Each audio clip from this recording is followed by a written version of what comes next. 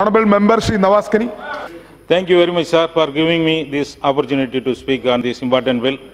The fact is that tobacco consumption, either in chewing or smoking, compromises on health and economic well-being all citizens in the country.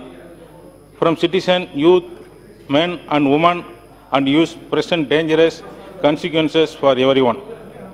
Both smoking and smokeless tobacco use cause many forms of cancers, leading to early painful deaths of users in their productive years. It is therefore critical to raise awareness to help reduce use and protect the health of the people.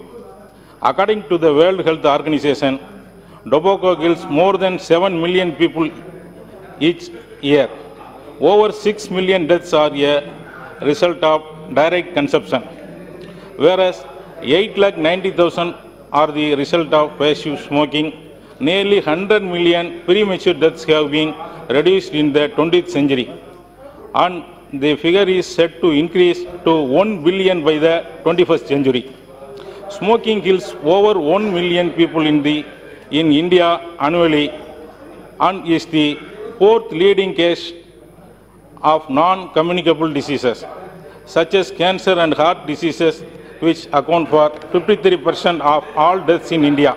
Silence, Sir, I would like to convey my thanks to Honorable Minister who brought this bill for banning electronic cigarette in India and this step will protect the future of the country's youth.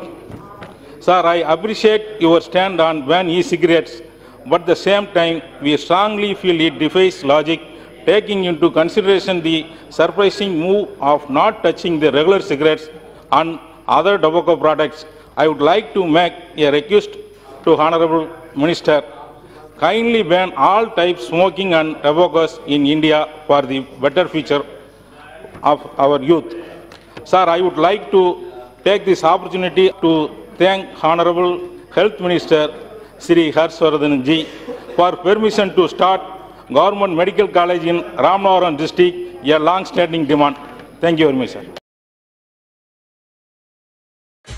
அன்பு நெஞ்சங்களே இது போன்ற இன்னும் பல வீடியோக்களை காண மணிச்சுடர் டிவிக்கு subscribe பண்ணுங்கள் மறக்காமல் பக்கத்தில் இருக்கிற பெல் பட்டனை அழுத்தி எங்களுக்கு தொடர்ந்து ஆதரவு தாருங்கள்.